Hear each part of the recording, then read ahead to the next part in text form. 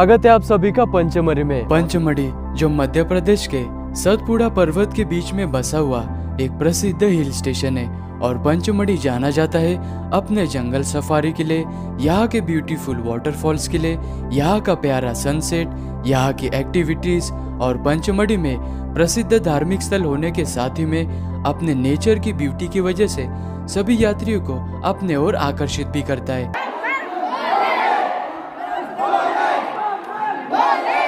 Pachmarhi hill station आने के लिए नज़दीक का रेलवे स्टेशन पिपरिया का आता है और पिपरिया रेलवे स्टेशन से पंचमढ़ी 52 किलोमीटर के दूरी पर है और पिपरिया रेलवे स्टेशन के बाहर से टैक्सी और बस आपको अस्सी रुपए से लेकर सौ रुपए तक डेढ़ से दो घंटे में ब्यूटीफुल नज़ारे दिखाते हुए पंचमढ़ी हिल स्टेशन तक पहुँचा देगी।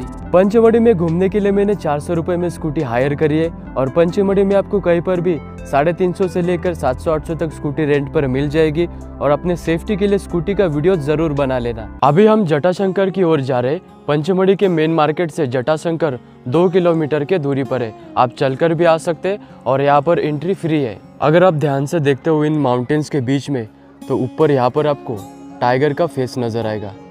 मैं आपको जूम करके दिखा रहा हूँ। ऐसे आप सब जगह नज़र घुमाइएगा, आपको कुछ ना कुछ नज़र आ ही जाएगा। सामने आप देख सकते हैं दो बड़े बड़े माउंटेन्स है और इन माउंटेन के बीच में जटाशंकर जी का मंदिर बना हुआ है। और ये जो सीढ़ियाँ नज़र आ रही है आपको, यहीं से हमें उतर कर नीचे की तरफ़ जाना है। तो चलिए मैं आपको दर्शन कराता हूँ अभी।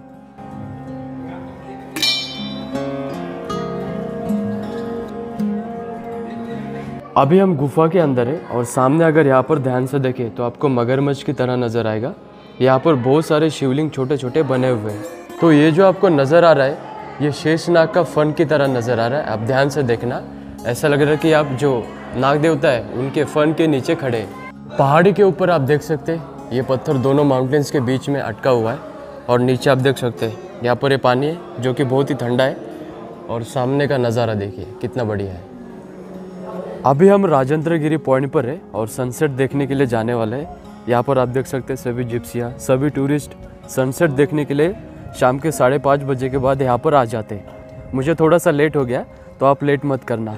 तो चलिए जल्दी सनसेट होने से पहले मैं आपको सनसेट दिखाता हूँ।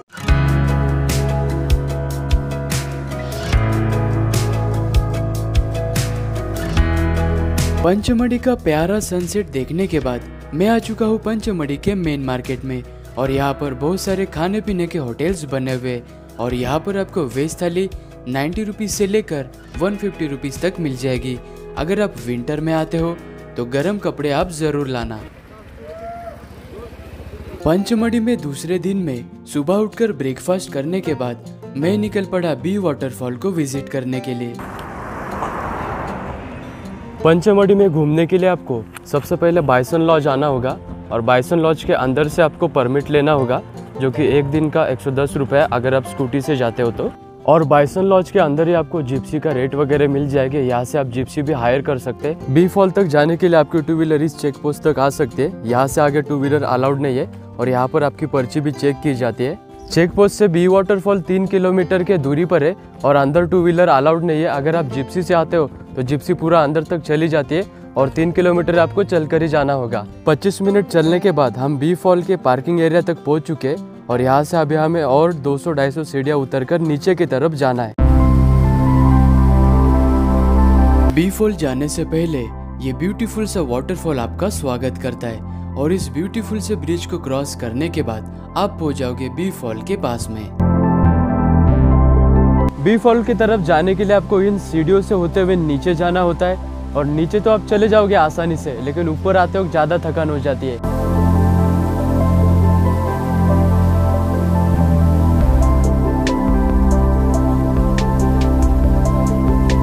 बी वाटरफॉल पंचमढ़ी का सबसे बड़ा वाटरफॉल होने के साथ ही में सभी टूरिस्ट का फेवरेट टूरिस्ट अट्रैक्शन है और वाटरफॉल को एंजॉय करने के बाद यहाँ की गर्मा गर्म मैगी ज़रूर ट्राई करना। रास्ते से आते वक्त आपको ये रीजगढ़ का बोर्ड नज़र आएगा। यहाँ से हमें सीधा जाना है और वहाँ पर फॉरेस्ट डिपार्टमेंट का चेक पोस्ट है। वहाँ पर आपको आपकी पर्ची दिखाकर वहीं से अंदर सीधा जाना है। और अंदर आने के बाद यहाँ पर आप अपनी गाड़ी पार्क करिएगा और इसके सामने आपको ये वाली शॉप नज़र आएगी।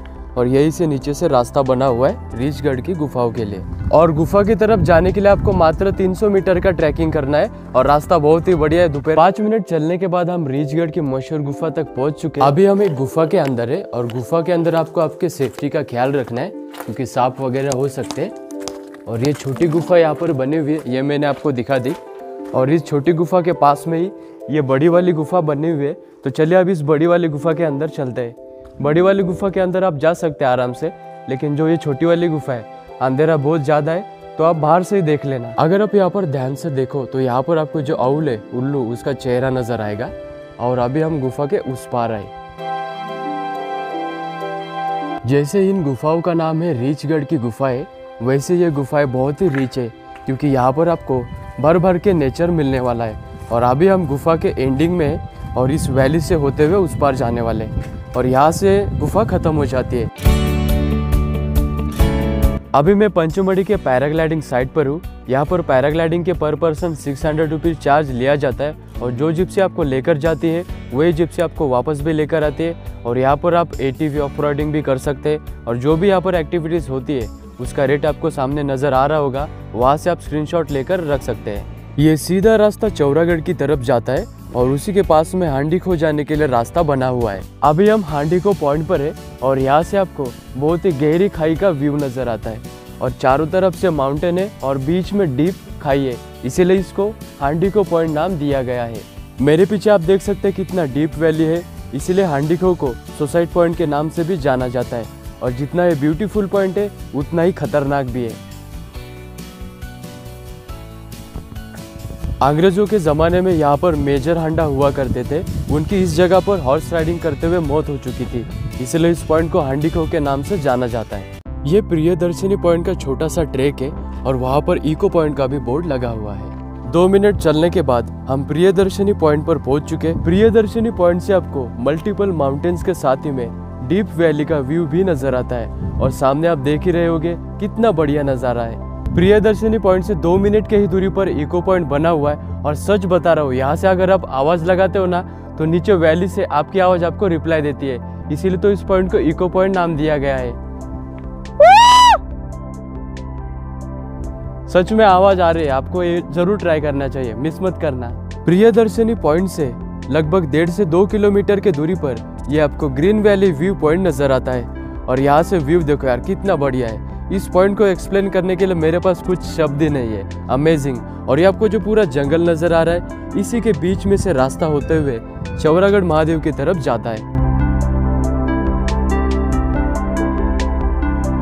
मैं हूँ अभी पंचमढ़ी के सबसे खूबसूरत चर्च के पास में, और इसका आर्किटेक्चर तो देखो यार, कितना बढ़िया है। और किसी ज़माने में अंग्रेज़ों का भारत के ऊपर राज हुआ करता था तो उन्हीं लोगों के द्वारा ऐसे ब्यूटीफुल से चर्च सभी हिल स्टेशन पर बनवाए गए थे। बहुत सारे टूरिस्ट पंचमढ़ी घूमने तो आते हैं, लेकिन इस चर्च में बहुत ही कम टूरिस्ट आते हैं। तो एक बार इस चर्च के अंदर ज़रूर जाना।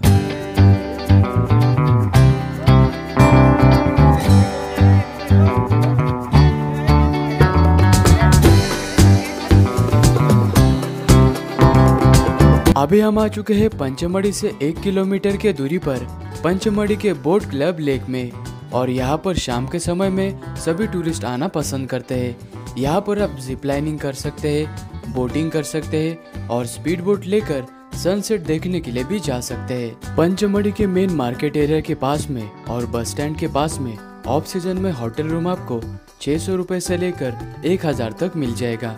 और पंचमढ़ी घूमने में आपका सात हज़ार से लेकर दस हज़ार तक बजट आ सकता है और सीज़न में थोड़ा सा कॉस्टली पड़ सकता है। पंचमढ़ी के बस स्टैंड से पिपरिया जाने के लिए शाम के छह बजे तक बसेस अवेलेबल होती है, या फिर आप टैक्सी से भी जा सकते हैं और महाराष्ट्र से नागपुर से भी यहाँ तक बसेस आती है।